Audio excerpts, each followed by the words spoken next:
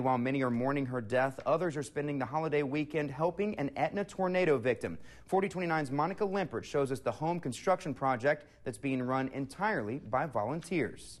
People came from all over the river valley and even as far as Texas to help this tornado victim rebuild his life. When it set down, I was sitting on the floor of the camper and the walls and the roof was gone.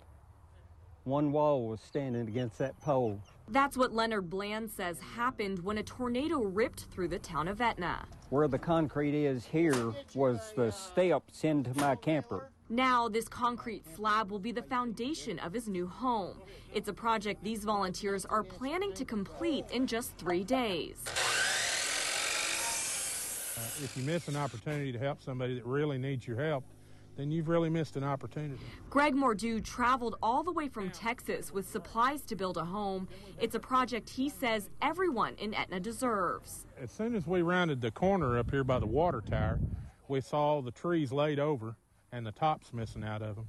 And we knew right then what had come through here. Bethany Alt Pyle drove up from Fort Smith to help with construction. After Habitat for Humanity built her family a new home, she can't imagine not giving back. I've enjoyed working on other people's homes, and to get to come out and do something like this uh, for somebody that's lost their home totally just uh, is a blessing to me, and I hope to him. The home is scheduled to be finished this Monday. In Etna, Monica Lemperet, 4029 News.